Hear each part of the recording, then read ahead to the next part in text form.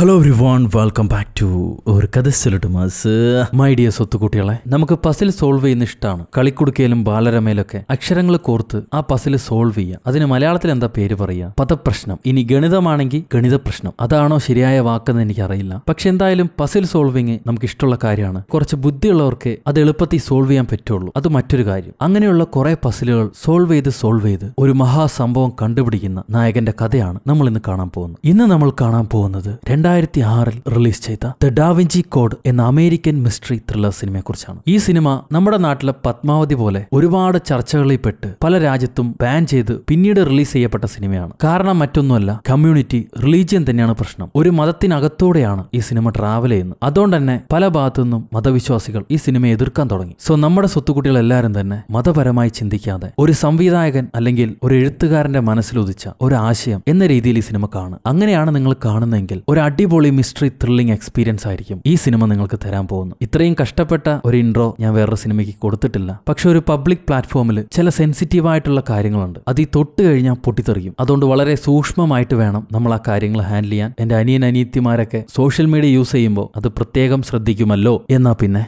സിനിമയുടെ കഥകൾ കേൾക്കാൻ ഇഷ്ടപ്പെടുന്ന നമ്മുടെ പുതിയ കൂട്ടുകാരെല്ലാവരും ചാനൽ സബ്സ്ക്രൈബ് ചെയ്തോളൂ. നമുക്കിപ്പോ ഈ കഥയിലേക്ക് കടക്കാം. ഈ സിനിമയുടെ തുടക്കത്തിൽ ഒരു വലിയ മ്യൂസിയം അതിനകത്തൂടെ വയസ്സായ ഒരു മനുഷ്യൻ മരണ ഭയപ്പെട്ട് ഓടി വരികയാണ് അദ്ദേഹമാണ് ഈ മ്യൂസിയത്തിന്റെ നടത്തിപ്പുകാരൻ. ആ മുത്തശ്ശന്റെ പിന്നാലെ ഒരു വെള്ള തലമുടിക്കാരൻ കണ്ണുമായിട്ട് അങ്ങേരെ കൊല്ലാൻ വരുന്നുണ്ട്. ഈ മുത്തപ്പൻ ഓടി വന്ന് അവിടുത്തെ ഒരു പെയിന്റ് ഇളക്കി മാറ്റും. മ്യൂസിയത്തിനകത്ത് വിലപിടിച്ച പെയിന്റുകളായിരിക്കും. അതുകൊണ്ട് തന്നെ അവിടുത്തെ സെക്യൂരിറ്റി സിസ്റ്റവും ഭയങ്കര സ്ട്രോങ് ആയിരിക്കും. സോ അപ്പൂപ്പൻ ആ പെയിന്റിങ്സ് ഇളക്കി മാറ്റുമ്പോൾ ഉടനെ മ്യൂസിയം ഇരുമ്പ് വാതിൽ ഗ്രില്ല് കൊണ്ട് അടയും. പക്ഷെ ആ ഗ്രില്ലിന് ഗ്യാപ്പ് ഉണ്ടാവുമല്ലോ. ആ ഗ്യാപ്പിൽ കൂടെ നമ്മുടെ കില്ലർ ഗണ്ണ് മുന്നിലേക്ക് നീട്ടി നീ ഇത്ര കാലമായി മറച്ചു വെച്ചിരുന്ന ആ സീക്രട്ട് എവിടെയാണെന്ന് പറയാൻ പറയും. അത് പറഞ്ഞില്ലെങ്കിൽ ഇപ്പൊ പൊട്ടും തോക്ക്. സോ മുത്തച്ഛൻ പേടിച്ച് അത് ചർച്ച് സൈന്റ് സൾപ്പേസിലുണ്ട് അവിടുത്തെ റോസ് ലൈനിന് അടിയിലാണെന്ന് പറയും. സോ സീക്രട്ട് എവിടെയാണെന്ന് മനസ്സിലായി. ഇനി മുത്തപ്പനെ ജീവനോടെ വിടാൻ പാടില്ല. സോ വെള്ളമുടിക്കാരൻ മുത്തപ്പനെ ഷൂട്ട് ചെയ്ത് അവിടുന്ന് ഇറങ്ങിപ്പോവും ഈ വെടികൊണ്ട മുത്തപ്പൻ മരിക്കുന്നതിന് മുമ്പേ ഒരു സ്കെച്ച് പെൻ എടുത്ത് ആ മ്യൂസിയത്തിന്റെ പല ഭാഗത്തും പലതും എഴുതി വെക്കുന്നുണ്ട്. അവിടെ നിന്ന് കട്ട് ചെയ്ത നമ്മുടെ ഹീറോ. ഹീറോ ഒരു വലിയ കോളേജിലെ വലിയൊരു പ്രൊഫസറാണ്. ഹീറോയ്ക്ക് കാലങ്ങളായി ഏൻഷ്യൻ ടൈംസ് മുതലുള്ള സിമ്പിൾസിനെ കുറിച്ചൊക്കെ അറിയാം. അതിന്റെയൊക്കെ അർത്ഥങ്ങൾ അറിയാം. ഒരു സിമ്പിൾ ഒരു വിഭാഗം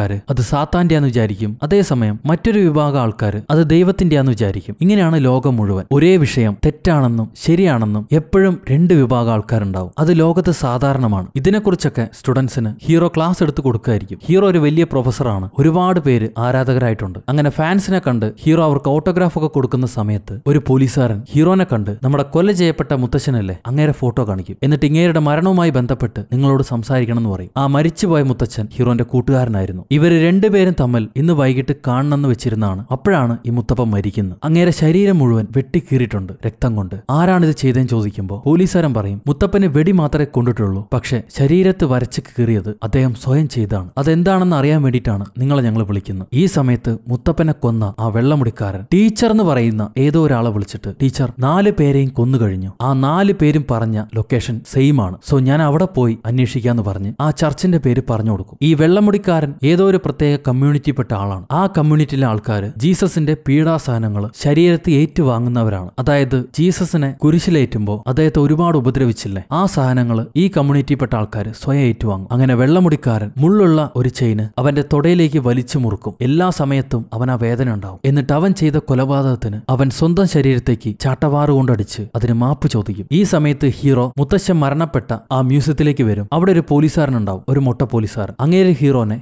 മ്യൂസിയത്തിനകത്തേക്ക് കൊണ്ടുപോകുമ്പോൾ ആ മ്യൂസിയത്തിൽ ഒരു ചെറിയ പിരമിഡും അതിന് മുകളിലായി ഒരു ഗ്ലാസിന്റെ പിരമിഡും ഉണ്ട് അതാണ് ഈ മ്യൂസിയത്തിൽ എന്നെ ഏറ്റവും ആകർഷിക്കണമെന്ന് ഹീറോ പറയും. ഈ സിനിമയിലെ ഓരോ പോയിന്റും നോട്ട് ചെയ്ത് വെക്കണം. കാരണം അത് കുഴപ്പിക്കുന്ന ഒരു സിനിമയാണ്. പസിലാണ്. പെട്ടെന്ന് മനസ്സിലാവില്ല. ക്ലൈമാക്സ് ആവുമ്പോഴേ മനസ്സിലാവും. അത് കഴിഞ്ഞ് ഇവർ ലിഫ്റ്റി മുകളിലേക്ക് പോകുമ്പോൾ ഹീറോയ്ക്കാണെങ്കിൽ അടച്ചിട്ട ഒരു സ്ഥലം എന്ന് പറഞ്ഞാൽ ഭയങ്കര പേടിയാണ്. അത് എന്തുകൊണ്ടാണെന്ന് ഇപ്പൊ നമുക്കറിയില്ല. ഹീറോനെ വിളിച്ചോണ്ട് പോകുന്ന പോലീസുകാരനല്ലേ അയാളുടെ തോളത്ത് ഒരു സിമ്പിൾ ഉണ്ടാവും. അത് ഹീറോ നോട്ട് ചെയ്ത് വെക്കും. അത് കഴിഞ്ഞ് ഒരു ബോഡി കാണുമ്പോൾ മുത്തശ്ശന്റെ കയ്യിൽ ഒരു സ്കെച്ച് പെൻ ഉണ്ട്. അദ്ദേഹം ശരീരത്ത് ഒരു സ്റ്റാർ വരച്ചിട്ടുണ്ട്. അവിടെ നിന്ന് കട്ട് ചെയ്ത ഒരു ബിഷപ്പിനെ കാണിക്കും. ആ ബിഷപ്പിനെ ഒരു പത്രക്കാരൻ ക്വസ്റ്റ്യൻ ചെയ്യായിരിക്കും. ഇങ്ങേരല്ലേ നമ്മുടെ സ്പൈഡർമാനിലെ വില്ലൻ. ആ ഇരുമ്പ് കൈ കൊണ്ടുള്ള വില്ലൻ. ആ സമയത്താണ് നമ്മുടെ വെള്ളമുടിക്കാരനെ ഒരു ടീച്ചർ വിളിച്ചില്ലേ? അതേ ടീച്ചർ ബിഷപ്പിനെ വിളിച്ചിട്ട് സ്ഥലം കണ്ടുപിടിച്ചു. ചർച്ചിലെ റോസ് ലൈനിന് അടിയിലാണ് സംഭവം ഉള്ളത്. നിങ്ങൾ എത്രയും പെട്ടെന്ന് എനിക്ക് തരാമെന്ന് പറഞ്ഞ പണം തരണം എന്ന് പറയും. അതിന് ബിഷപ്പ് ഞാനിപ്പോ കൗൺസിൽ മീറ്റിംഗിനാണ് പോകുന്നത്. ആ മീറ്റിംഗിൽ കൺഫേം ചെയ്ത് നിങ്ങൾക്ക് പണം തരാമെന്ന് പറയും. ഈ സമയത്ത് ഹീറോയോട് മുത്തശ്ശന്റെ ബോഡിയിലെ ആ സ്റ്റാർ അതെന്താന്ന് പോലീസ് ചോദിക്കുമ്പോൾ ഹീറോ പറയും അത് വീനസിന്റെ സിമ്പലാണ്. ആ സിമ്പൽ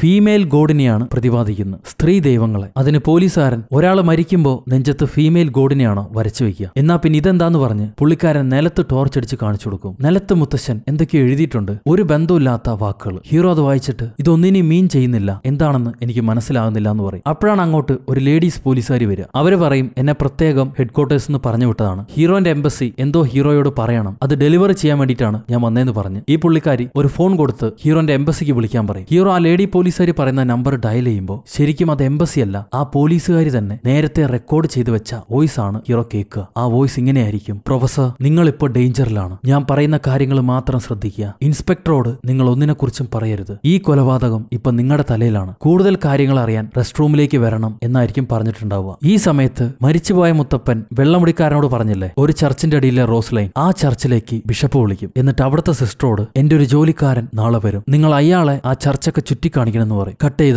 ഇവിടെ ഹീറോ പോലീസുകാരോട് എനിക്കൊന്ന് ടോയ്ലറ്റിൽ പോകണമെന്ന് പറഞ്ഞ് മെല്ലെ അവിടുന്ന് എസ്കേപ്പ് ആയി ഊരി ടോയ്ലറ്റിനകത്ത് വരുമ്പോൾ അവിടെ ഉണ്ടാവും നമ്മുടെ പോലീസുകാരി. ഇവിടെ എന്താ സംഭവിക്കുന്നത്? നീ ആരാന്ന് ഹീറോ ചോദിക്കുമ്പോൾ പോലീസുകാരി. അതാണ് നമ്മുടെ ഹീറോയിൻ. ഹീറോയിൻ പറയും നിങ്ങളുടെ പോക്കറ്റ് ചെക്ക് ചെയ്യൂ. അതിൽ G P S tracking device ഉണ്ടെന്ന് പറയും. ഹീറോ നോക്കുമ്പോൾ ഒരു ചെറിയ ഡിവൈസ് ഉണ്ട്. സോ പോലീസുകാർ ഹീറോ ഓടിപ്പോവാതിരിക്കാൻ വേണ്ടി ഹീറോന്റെ പോക്കറ്റ് ആ ഡിവൈസ് വെച്ചാണ്. എന്നിട്ട് ഹീറോയും പറയും നിങ്ങൾ ഇവിടെ വരുന്നതിന് മുന്നേ തന്നെ ആ പോലീസുകാരൻ മുത്തശ്ശൻ എഴുതി വെച്ചിരുന്ന രണ്ട് സെന്റൻസ് മാച്ച് കളഞ്ഞു. അത് നേരത്തെ ഈ പെണ്ണ് ഫോട്ടോ എടുത്തു വെച്ചിരുന്നു. ആ സെന്റൻസ് ഹീറോയ്ക്ക് കാണിച്ചു കൊടുക്കും. അതിനകത്ത് ഫൈൻഡ് റോബർട്ട് ലാങ്ഡൺ അതായത് ഹീറോന്റെ പേര്. ഹീറോനെ എങ്ങനെയെങ്കിലും കണ്ടുപിടിക്കുന്നതായിരിക്കും ആ രണ്ട് സെന്റൻസ് അത് മാച്ച് കളഞ്ഞിട്ട് ഹീറോനെ പ്രതിയാക്കാനുള്ള ശ്രമമാണ് പോലീസുകാരന്റെ ഹീറോയ്ക്കാണെങ്കിൽ ഒന്നും മനസ്സിലാവില്ല. നിങ്ങൾ ആരാണ്? ഇവിടെ എന്താണ് സംഭവിക്കണമെന്ന് ചോദിക്കുമ്പോൾ ഹീറോയും പറയും മരിച്ചുപോയ മുത്തപ്പൻ. ശരിക്കും ഈ പെണ്ണിന്റെ മുത്തശ്ശനായിരുന്നു. ഇവരെ തമ്മിൽ ഒരുപാട് കാലമായിട്ട് കോണ്ടാക്ട് ഇല്ല. ഫൈൻഡ് റോബർട്ട് എന്ന് എഴുതിയതിന് മുന്നേ ആയിട്ട് പി എസ് എന്ന് എഴുതിയിട്ടുണ്ട്. പി എസ് എന്ന് വെച്ചാൽ പ്രിൻസസ് സോഫി. അങ്ങനെയാണ് ഈ പെണ്ണിനെ മുത്തശ്ശൻ വിളിച്ചുകൊണ്ടിരുന്നത് മരിക്കുന്നതിന് മുന്നേയായി നമ്മൾ രണ്ടുപേരും കണ്ടുമുട്ടണമെന്ന് അദ്ദേഹം വിചാരിച്ചിട്ടുണ്ട്. അതെന്തുകൊണ്ടാണെന്ന് എനിക്കറിയില്ല. ഈ കേസിൽ നിന്ന് നിങ്ങളെ ഞാൻ രക്ഷപ്പെടുത്താം. പക്ഷെ അതിന് പകരമായി അദ്ദേഹം എന്താണോ എന്നോട് പറയാൻ വന്നത് അത് കണ്ടുപിടിക്കാൻ വേണ്ടി നിങ്ങൾ എന്നെ സഹായിക്കണം. അതിനാദ്യം നമുക്ക് ഇവിടുന്ന് രക്ഷപ്പെടണം എന്ന് പറഞ്ഞ് സോഫി ആ ബിൽഡിംഗിൽ നിന്ന് താഴേക്ക് നോക്കും. എങ്ങനെയാണ് രക്ഷപ്പെടാൻ പറ്റുകയെന്ന് ആ സമയത്താണ് നമ്മുടെ മൊട്ട പോലീസുകാരനോട് വേറൊരു പോലീസുകാരൻ പറയാ സോഫീനെ ഹെഡ്ക്വാർട്ടേഴ്സ് പറഞ്ഞു വിട്ടിട്ടില്ല. അവൾ നുണയാണ് പറഞ്ഞത്. ഇത് മനസ്സിലായ അടുത്ത നിമിഷം പോലീസുകാർ ഹീറോന്റെ പോക്കറ്റിൽ വെച്ചിരുന്ന ജി പി എസ് റോട്ടി ഇറങ്ങി ഓടിപ്പോന്ന് കാണും. സോ ഹീറോയും സോഫിയും രക്ഷപ്പെട്ടു. ഉടനെ തന്നെ അവിടുത്തെ പോലീസ് പട. ആ ജി പി എസിനെയും ട്രാക്ക് ചെയ്ത് പുറകെ തന്നെ പോകും. ഈ സമയത്ത് അകത്തൊളിച്ചിരുന്ന നമ്മുടെ സോഫിയും ഹീറോയും കൂടി മുത്തശ്ശൻ മരിച്ചു കിടക്കുന്ന ഭാഗത്തേക്ക് വരും. സോ ഇവർ ജി പി എസ് നമ്മുടെ ലാലേട്ടനെ പോലെ വേറെ ഏതൊരു വണ്ടിയിട്ട് നാട് കടത്തി വിട്ടാണ്. ഇവർ വന്ന് മുത്തശ്ശന്റെ ബോഡി അതിന് പരിസരം ചെക്ക് ചെയ്യും. അപ്പോഴാണ് ഹീറോയും പറയുക ഒരുപാട് നാളായി മുത്തശ്ശനും ഇവളും സംസാരിച്ചിട്ടില്ല. മരിക്കുന്നതിന് മുന്നേ ഒരുപാട് തവണ മുത്തശ്ശൻ ഇവളെ വിളിച്ചിരുന്നു. ഇവൾ കോൾ എടുത്തില്ല. അത് കഴിഞ്ഞിട്ടാണ് മുത്തശ്ശൻ ഹീറോനെ വിളിക്കാൻ ശ്രമിച്ചത്. മുത്തശ്ശൻ നിലത്ത് എഴുതി വെച്ചിരിക്കുന്ന വാക്കുകൾ ഇവർ വീണ്ടും വായിക്കും. അതാണെങ്കിൽ പരസ്പരം ഒരു ബന്ധമില്ലാത്ത വാക്കുകൾ. അപ്പൊ ഹീറോയും പറയും ഒരുപക്ഷെ ഇത് അനഗ്രഹമാണെങ്കിലോ അനഗ്രം എന്ന് വെച്ച് കഴിഞ്ഞാൽ വാക്കുകളിനുള്ളിലുള്ള ലെറ്റർ വെച്ച് മറ്റൊരു വാക്ക്. സോ ഹീറോ ഓരോ വാക്കുകളിൽ നിന്നും പല പല ലെറ്റേഴ്സ് കണ്ടുപിടിക്കും. എന്നിട്ട് ആ ലെറ്റർ എല്ലാം കൂടി കൂട്ടി വായിക്കുമ്പോൾ Leonardo da Vinci the Mona Lisa എന്നായിരിക്കും വാക്ക്. സോ ഡാവിൻചിയുടെ മോണാലിസ പെയിന്റിംഗ് അത് ഇതേ മ്യൂസിയത്തിനകത്താണുള്ളത്. ഈ സമയത്താണ് ഒരു ചരക്ക് വണ്ടിയിൽ നിന്ന് പോലീസുകാർക്ക് സോപ്പി ഒട്ടിച്ചു വെച്ച പോലെ ജി പി എസ് കിട്ടുക. സോ അവർ പറ്റിക്കായിരുന്നു എന്നുള്ളത് പോലീസുകാരന് മനസ്സിലായി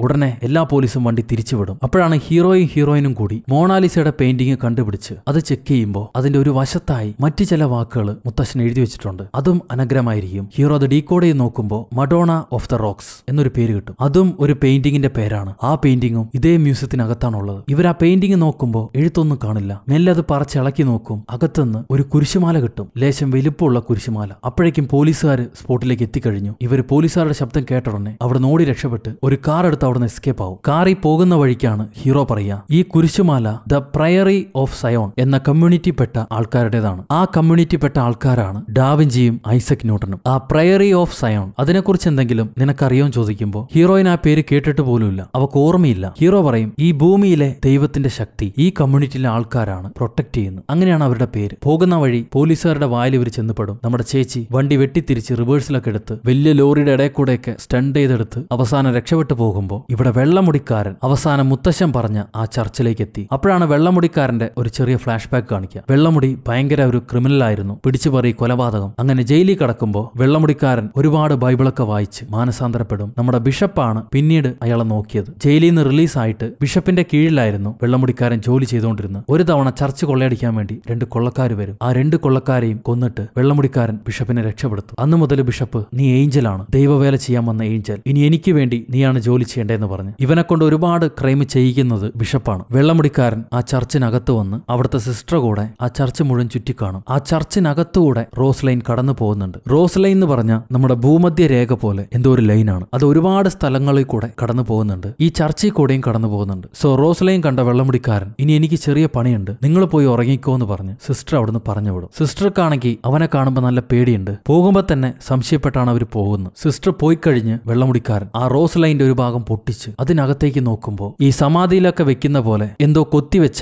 ഒരു ഡിസൈൻഡ് കല്ല്. ഇതല്ല കില്ലർ അന്വേഷിച്ച് വന്ന സാധനം. അവൻ ചതിക്കപ്പെട്ടു എന്ന് കില്ലർക്ക് മനസ്സിലായി. ഈ സമയത്ത് ഹീറോയിനും ഹീറോയും കൂടി ഓടിപ്പോയി ഒളിച്ചിരിക്കാൻ വേണ്ടി ഒരു പാർക്കിലേക്ക് വരും. ആ പാർക്കിലാണെങ്കിൽ പ്രോസ്റ്റിറ്റ്യൂട്ടുകളും ഡ്രഗ് എടുക്കുന്നവരുമാണ് ഉണ്ടാവുക. ഒരു ഡ്രഗിന് അമ്പത് ഡോളറും കൊടുത്ത് നീ എന്തേലും പോയി കഴിച്ചോ എന്ന് പറഞ്ഞ് അയാളെ പറഞ്ഞു വിട്ട് ഇവരവിടെ ഇരുന്ന് ഇനി എന്താ ചെയ്യാൻ പറ്റുകയെന്ന് ചർച്ച ചെയ്യും. അപ്പോഴാണ് ഹീറോയും പറയുക ചെറുപ്പം മുതലേ അവളുടെ മുത്തശ്ശൻ ഒരുപാട് പസിൽസ് കാണിച്ചിട്ടാണ് ഇവളെ വളർത്തിയത്. ഓരോ പസിലും സോൾവ് ചെയ്യുമ്പോൾ ഓരോ സമ്മാനങ്ങൾ കിട്ടും. ഇപ്രാവശ്യം അങ്ങേരെന്താണ് ഉദ്ദേശിക്കുന്നത്? അങ്ങേരെ കൊന്നതാരെന്ന് കണ്ടുപിടിക്കാനാണോ? ആ കുരിശുമാലയിൽ എന്തോ ഒരു സംഭവം ഒളിഞ്ഞു കിടപ്പുണ്ട് എന്ന് ഹീറോയും പറയുമ്പോൾ ഹീറോ പറയും പ്രയറി ഓഫ് സൈൻ ആ കമ്മ്യൂണിറ്റിനെ കുറിച്ച് സംസാരിച്ചാൽ തന്നെ രക്തം ചിന്തുന്ന കഥകളാണ് ചരിത്രം പറയുന്നത്. ആയിരം വർഷങ്ങൾക്ക് മുന്നേ ജീസസ് ജനിച്ച ജെറുസലേം ഒരു ഫ്രഞ്ച് രാജാവ് ആക്രമിച്ചു. അവരാക്രമിക്കാൻ കാരണം തന്നെ എന്തോ ഒരു സംഭവം ആ ജെറുസലേമിൽ ഒളിഞ്ഞു കിടപ്പുണ്ട്. അത് കണ്ടുപിടിക്കാൻ വേണ്ടിയിട്ടാണ്. അവരത് കണ്ടുപിടിക്കുകയും ചെയ്തു. അത് കണ്ടുപിടിച്ച ഉടനെ ഇവർ അക്രമം ഒഴിവാക്കി നേരെ റോമിലേക്ക് തിരിച്ചു. ആ ഫ്രഞ്ച് നാട്ടുകാർ. ഇവർ റോമിൽ വന്ന് സഭയോട് എന്താ പറഞ്ഞെന്നറിയില്ല. പിന്നീട് ആ ഫ്രഞ്ചന്മാരായിരുന്നു സഭയെ തന്നെ കൺട്രോൾ ചെയ്തിരുന്നു പക്ഷെ ഒരുപാട് നാൾ സഭ ഇത് സഹിച്ചില്ല. പോപ്പ ഫ്രഞ്ച് കമ്മ്യൂണിറ്റിക്കാരെ സാത്താൻ സേവകരാണെന്ന് പറഞ്ഞ് രാത്രിയോട് രാത്രി കൊന്നു തള്ളാൻ പറഞ്ഞു. അങ്ങനെ ഒരുപാട് പേര് മരണപ്പെട്ടു. പക്ഷെ അത് ഈ ബാക്കിയുള്ള ആൾക്കാർ അവർ കണ്ടുപിടിച്ച രഹസ്യവുമായിട്ട് എവിടെയോ പോയി ഒളിച്ചു. സഭ എത്ര തിരഞ്ഞിട്ടും അത് കണ്ടുകിട്ടിയില്ല. ഈ നാൾ വരെയും ആർക്കും അത് കണ്ടുകിട്ടിയിട്ടില്ല. അത് വളരെ രഹസ്യമായി ഈ പ്രയറി ഓഫ് സിയോൺ എന്ന കമ്മ്യൂണിറ്റിക്കാര് ഒളിച്ചു വെച്ചിരിക്കുകയാണ്. അപ്പൊ ഹീറോയിൻ എന്ത് രഹസ്യമാണ് അവർ ഒളിച്ചു വെച്ചിരിക്കണമെന്ന് ചോദിക്കും. അതിന് ഹീറോ പറയും ഹോളി ഗ്രെയിൽ അതായത് ലാസ്റ്റ് സപ്പറി ജീസസ് കുടിച്ച പാനീയപാത്രം എന്തായാലും മുത്തശ്ശൻ ആ കുരിശുമാലയിൽ എന്തെങ്കിലും ഒളിച്ചു വെച്ച് കാണും. ഒന്നുകൂടി നോക്കാന്ന് പറഞ്ഞ് ഇവരൊന്നുകൂടി ആ കുരിശുമാല തിരിച്ചു നോക്കുമ്പോൾ അതിനകത്ത് ഹാക്സോ ട്വന്റി ഫോർ എന്ന് എഴുതിയിട്ടുണ്ട്. ഹീറോയും പറയും അതൊരു തെരുവിന്റെ അഡ്രസ്സാണ്. അങ്ങനെ ഒരു തെരുവുണ്ട് ഈ നാട്ടിൽ അങ്ങനെ ഇവർ നേരെ ആ തെരുവിലേക്ക് പോകുമ്പോൾ കട്ട് ചെയ്ത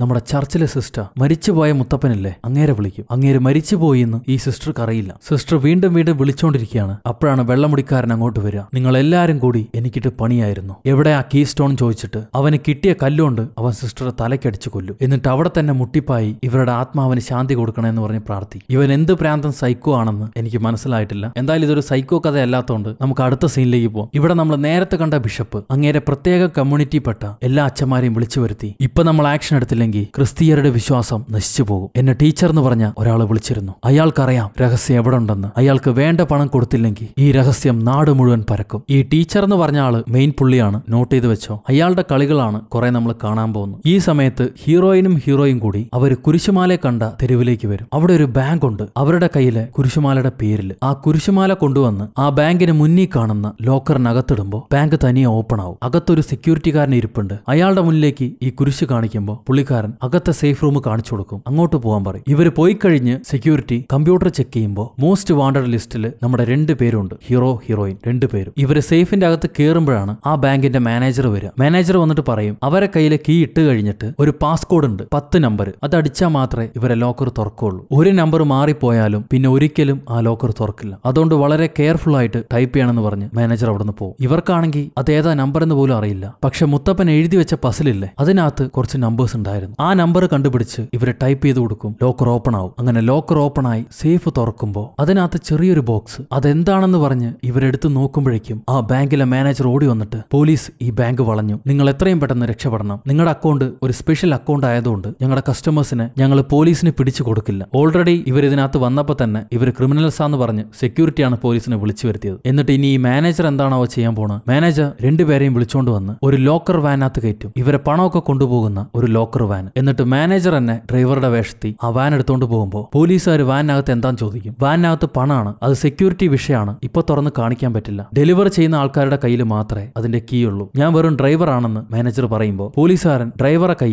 റോളക്സിന്റെ വാച്ച് കാണും. ഒരു ഡ്രൈവറുടെ കയ്യിൽ റോളക്സ് വാച്ചോ താൻ ശരിക്കും എന്ന് ചോദിക്കുമ്പോൾ മാനേജർ പറയും ഇത് മുപ്പത് ഡോളറിന് ഞാൻ തെരുവിന്ന് വാങ്ങിച്ച. വേണമെങ്കിൽ നിങ്ങൾക്ക് ഇരുപത്തഞ്ച് ഡോളറിന് തരാം. വേണമെങ്കിൽ എടുത്തോ എടുത്തോ എന്ന് പറയും. അപ്പോൾ പോലീസുകാരൻ എടുത്തോണ്ട് പോടാ നിന്റെ വണ്ടി എന്ന് പറഞ്ഞ് മാനേജർ അവിടുന്ന് ഓടിച്ചു ആ സമയത്ത് വണ്ടിക്കകത്ത് നിന്ന് നമ്മുടെ പെൺകുട്ടി സോഫിയ സേഫിനകത്തുനിന്ന് കിട്ടിയ ആ കൊച്ചു പെട്ടി തുറന്നു നോക്കൂ. അതിനകത്തും ഒരു പസിലാണ് ഒരു ക്രിപ്റ്റെക്സ് അതെന്താന്ന് അവക്കറിയാം? ചെറുപ്പത്തിൽ അവൾ കളിച്ചിട്ടുണ്ട്. അത് ഡാവിജി ഡിസൈനിൽ പോർഷനിലുള്ള ഒരു ക്രിപ്റ്റെക്സ് ആണ്. അതിനകത്ത് ഒരു ചെറിയ എഴുത്ത് കാണും. അതാണ് രഹസ്യം. മോളിയുള്ള അക്ഷരങ്ങൾ കറക്റ്റായിട്ട് അടിക്കുക മാത്രമേ ഇവർക്കത് തുറന്ന് കിട്ടുള്ളൂ എങ്ങാനും പൊട്ടിച്ച് അത് തുറക്കാൻ നോക്കിയാൽ അകത്തുള്ള വിനേഗർ പൊട്ടി അതിൽ എഴുത്തുകളെല്ലാം മാഞ്ഞു പോകും. അങ്ങനെയുള്ള ഒരു സേഫ്റ്റി ബോക്സ് ആണത്. സോ വാക്ക് കണ്ടുപിടിച്ച് ആ വാക്കിന്റെ ലെറ്റേഴ്സ് ഒരുമിച്ച് ഇതിനകത്ത് കൂട്ടിച്ചേർത്താൽ മാത്രമേ ഈ ബോക്സ് തുറക്കുകയുള്ളൂ. എന്നാൽ മാത്രമേ അതിനകത്ത് എന്താ ഉള്ളതെന്ന് ആർക്കും അറിയാൻ പറ്റൂ. ചെറുപ്പത്തി ഇതേപോലത്തെ സാധനങ്ങൾ കൊടുത്തിട്ട് മുത്തശ്ശൻ അവളെ കളിപ്പിച്ചിട്ടുണ്ട്. അപ്പോഴാണ് ഹീറോയ്ക്ക് തല പെരുക്കുന്ന പോലെ തോന്നുക. കാരണം അടച്ചിട്ട മുറിയിൽ ഹീറോ എപ്പോഴും അസ്വസ്ഥനാവും. നമ്മുടെ ഹീറോയിൻ അവന്റെ തലയുടെ രണ്ട് ഭാഗത്തും കൈവച്ച് അമർത്തിയിട്ട് പേടിക്കണ്ട ഇങ്ങനെ ചെയ്താൽ നിങ്ങൾ ബെറ്റർ ആയിട്ട് ഫീൽ ചെയ്യുന്നു പറയും. അതേപോലെ ഹീറോയ്ക്ക് ഒരു സമാധാനം ഉണ്ടാവും. അപ്പോഴാണ് ഹീറോയിൻ അവളുടെ ഫ്ലാഷ് ബാക്ക് പറയുക. അവളുടെ ചെറുപ്രായത്തിൽ അപ്പനും അമ്മയും അനിയന്റെയും കൂടെ ട്രാവൽ ചെയ്യുമ്പോൾ ഒരു ലോറി ഇടിച്ച് കുടുംബത്തിലെ എല്ലാവരും മരിച്ചു. ഹീറോയും മാത്രം ബാക്കി. അപ്പോഴാണ് മുത്തശ്ശൻ അവളെയും പൊക്കിയെടുത്തുകൊണ്ട് പോയി വളർത്തിയത്. പിന്നീട് മുത്തശ്ശന്റെ കൂടെയാണ് അവൾ വളർന്നത്. അപ്പോഴാണ് ഈ മാനേജർ ട്രക്ക് കൊണ്ടുപോയി ഒരു നടു കാടിനകത്ത് നിർത്തി ഡോറും തുറന്ന് ഇവർക്ക് നേരെ കണ്ണു ചൂണ്ടിയിട്ട് ഞാൻ ഇരുപത് വർഷമായിട്ട് കാത്തിരിക്കുകയാണ്. ആ ബോക്സ് എടുക്കാൻ ആരാണ് വരിക എന്ന് പറഞ്ഞു. ആ ക്രിപ്റ്റിക്സ് താടാ എന്റെ കയ്യിലെന്ന് പറഞ്ഞ് ഈ മാനേജർ ഒരു വെടിയും പൊട്ടിച്ച് ഹീറോന്റെ കയ്യിൽ നിന്ന് അത് വാങ്ങിയെടുക്കും. ഹീറോ അത് കൊടുക്കാൻ നേരം മാനേജർ പൊട്ടിച്ച വെടിയില്ലേ? അതിൽ ഉണ്ട മെല്ലെ ഡോറിന്റെ ഇടയിൽ തിരികെ വെക്കും. അയാൾ ക്രിപ്റ്റെക്സും വാങ്ങി ഡോർ അടയ്ക്കാൻ നേരം ഡോർ അടയില്ല. അപ്പോഴാണ് ഹീറോ ഡോറോട് ചേർത്ത് അയാളെ തല്ലി തെറിപ്പിച്ചിടുക. എന്നിട്ട് ആ ക്രിപ്റ്റെക്സും എടുത്ത് വണ്ടിയുടെ കീ എടുത്ത് അയാളെ നടു കാട്ടി വിട്ട് ഇവർ വാൻ എടുത്ത് എസ്കേപ്പ് ആവും. എന്നിട്ട് ഹീറോ സോഫിയോട് ചോദിക്കും നീ ശരിക്കും ആരാണ്? ചെറുപ്രായത്തിൽ നിന്റെ മുത്തപ്പൻ നിന്റെ ക്രിപ്റ്റെക്സ് തന്നു പസിൽ തന്നു അത് സോൾവ് ചെയ്യാൻ പറഞ്ഞു. എന്നിട്ട് ഇപ്പൊ മരിച്ചു കഴിഞ്ഞ് വേറെന്തോ കണ്ടുപിടിക്കാൻ പറയുന്നു. അത് കണ്ടുപിടിച്ച് പോകാൻ നേരം ഒരു ടീം അതിനെ വേട്ടയാടി നമ്മളെ കൊല്ലാനും വരുന്നുണ്ട്. ഇവിടെ എന്താണ് സംഭവിക്കുന്നത്? ഇതിനെല്ലാം ഉത്തരം കിട്ടണമെങ്കിൽ ഹീറോന്റെ ഒരു കൂട്ടുകാരനുണ്ട്. ഒരു വയസ്സൻ കൂട്ടുകാരൻ. അയാൾക്ക് ഒരുപാട് ചരിത്രങ്ങൾ അറിയാം. ഈ പ്രയറി ഓഫ് സിയോണിനെ കുറിച്ചും ഒരുപാട് കാര്യങ്ങൾ അറിയാം. അയാളെ പോയി കാണാന്ന് പറയും. ഈ സമയത്താണ് പോലീസുകാരൻ നമ്മുടെ ബാങ്ക് മാനേജർ ഡ്രൈവർ അല്ലാന്ന് മനസ്സിലാക്കിയിട്ട് മാനേജറെ കണ്ട് നീ കൊണ്ടുപോയ ട്രക്കിനകത്ത് ഒരു ജി പി എസ് ഞങ്ങൾ പിടിപ്പിച്ചിട്ടുണ്ടെന്ന് പറയാം. ഇവരെല്ലാം ഒരേ ടീമിൽപ്പെട്ട ആൾക്കാരാണ്. സോ ഹീറോ ഹീറോയിൻ എങ്ങോട്ടാ പോണേന്നുള്ളത് പോലീസുകാർക്ക് അറിയാം നമ്മുടെ ആൾക്കാർ ഒരു വലിയ പാലസിലേക്ക് വരും. ഒരു വലിയ വീട്. അത് ഹീറോന്റെ കൂട്ടുകാരൻ കോലപ്പത്താത്തന്റെ വീടാണ്. ഇവരകത്തേക്ക് കയറുന്നതിന് മുന്നേ അയാളും ഒരു രണ്ട് മൂന്ന് ചോദ്യങ്ങൾ ചോദിക്കും. പുള്ളിയും ഒരു പസിൽ പ്രാന്തനാണ്. അയാൾ ചായ വേണോ കാപ്പി വേണോ ചോദിക്കും. ചായ എന്ന് പറയുമ്പോൾ ലെമൺ ടീ വേണോ പോയിസൺ ടീ വേണോ ചോദിക്കും. അങ്ങനെ എന്തൊക്കെയോ മണ്ടൻ ചോദ്യങ്ങൾ രണ്ട് മൂന്നെണ്ണം ചോദിക്കുമ്പോൾ ഹീറോ കറക്റ്റ് ആയിട്ട് ഉത്തരം പറയും. അങ്ങനെ ഡോറും തുറന്ന് ഇവരകത്തേക്ക് വരുമ്പോൾ പോലീസുകാർക്ക് ഇവിടെ ജി പി എസ് ട്രാക്ക് ചെയ്ത് കിട്ടി. വില്ലറ്റ് എന്ന് പറഞ്ഞ സ്ഥലത്താണ് നമ്മുടെ ആൾക്കാരുള്ളത്. ഉടനെ നമ്മുടെ വില്ലൻ പോലീസ് ഇല്ലേ മൊട്ട പോലീസ്? പുള്ളിക്കാരൻ ഫാദറിനെ വിളിച്ച് ബിഷപ്പിനെ വിളിച്ച് അവർ വില്ലറ്റ് എന്ന് പറഞ്ഞ സ്ഥലത്തുണ്ടെന്ന് പറയും. ഈ ഫാദർ എന്ത് ചെയ്യും? നമ്മുടെ കില്ലർ വെള്ളമുടി കില്ലറിനെ വിളിച്ച് അവർ വില്ലറ്റ് എന്ന് പറഞ്ഞ സ്ഥലത്തുണ്ടെന്ന് പറയും. ഈ സമയത്ത് ഹീറോയും സോഫിയും കൂടി പ്രയറി ഓഫ് സയോണിനെ കുറിച്ച് എന്താണ് പറയാനുള്ളതെന്ന് നമ്മുടെ കോലപ്പത്താത്തനോട് ചോദിക്കും. പുള്ളിക്കാരനും ഹീറോ പറഞ്ഞ അതേ കാര്യങ്ങളാണ് പറയുക. ഭൂമിയിലെ ദൈവത്തിന്റെ ശക്തി അതിനെ സംരക്ഷിക്കുന്നവരാണ് പ്രയറി ഓഫ് സിയോൺ പക്ഷെ ഹീറോ പറയുന്ന പോലെ ആ പവറിന്റെ സോഴ്സ് ഹോളി ഗ്രേയിൽ പാനീയ പാത്രമല്ല. ബൈബിൾ എഴുതിയത് ഒരാളാണ് കോൺസ്റ്റാന്റീനെ എന്ന് പറയുന്ന ആൾ. അദ്ദേഹം ഒരു ക്രിസ്ത്യൻ അല്ല പേജൻ എന്ന് പറഞ്ഞ വിഭാഗത്തിൽപ്പെട്ട ആളാണ്. ആ പേജൻ വിഭാഗം സ്ത്രീയെയും പുരുഷനെയും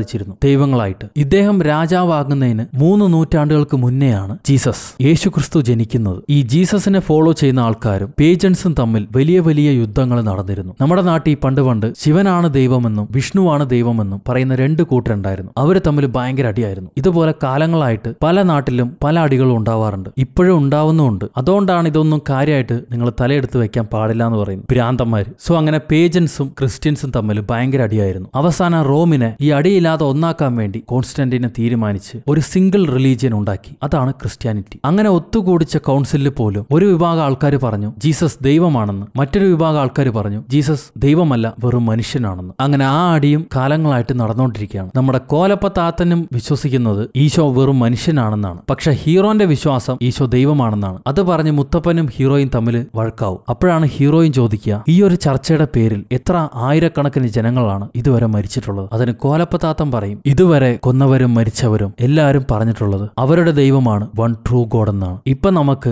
ആ ഹോളി ഗ്രയിൽ കാണേണ്ട സമയമാണെന്ന് പറഞ്ഞ് കോലപ്പത്താതൻ രണ്ടുപേരെയും വിളിച്ചുകൊണ്ട് വന്ന് ലാസ്റ്റ് സപ്പർ ഡാവിഞ്ചി വരച്ച ഈശോന്റെ ലാസ്റ്റ് സപ്പർ ചിത്രം കാണിച്ചു കൊടുക്കും. എന്നിട്ട് ആ സപ്പർ ടേബിളിൽ ഏതെങ്കിലും പാനീയ പാത്രം ഉണ്ടോ എന്ന് നോക്കാൻ പറയും. നോക്കുമ്പോൾ ഒരു പാനീയ പാത്രവും ഇല്ല. അപ്പൊ എവിടെ പോയി ഹോളി ഗ്രയിൽ കോലപ്പത്താത്തൻ ഹീറോയോട് ആണിന്റെയും പെണ്ണിന്റെയും സിമ്പിൾ കാണിക്കാൻ പറയും. പഴയ കാലത്തെ ആണിന്റെയും പെണ്ണിന്റെയും സിമ്പിൾ ആണിന്റെ സിമ്പിൾ ഗോപുരം പോലെ ത്രികോണം മുകളിലേക്ക് കൂർത്ത രൂപത്തിലുള്ളതാണ് ആണിന്റെ സിമ്പിൾ അതേപോലെ പെണ്ണിന്റെ സിമ്പിൾ ആവട്ടെ താഴേക്ക് കൂർത്ത അവസ്ഥയിൽ കോണ് താഴേക്ക് കൂർത്ത അവസ്ഥയിലുള്ളതാണ് പെണ്ണിന്റെ സിമ്പിൾ എന്നിട്ട് ആ ലാസ്റ്റ് സപ്പറിലേക്ക് ഒന്നുകൂടി നോക്കാൻ പറയും. ജീസസിന്റെ അടുത്തിരിക്കുന്ന ശിഷ്യന്മാരിൽ ഒരാൾ ശരിക്കും പുരുഷനല്ല സ്ത്രീയാണ്. അതാരാണെന്ന് ഹീറോയിൻ ചോദിക്കുമ്പോൾ കോലപ്പത്താത്തം പറയും അതാണ് മേരി മഗ്ഡലിൻ മക്ദലിനെ മറിയം.